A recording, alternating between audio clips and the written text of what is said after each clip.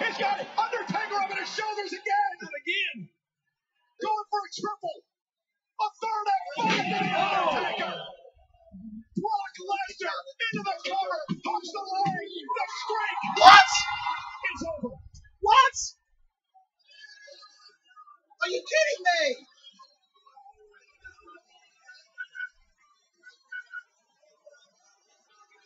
Are you fucking kidding me? Ladies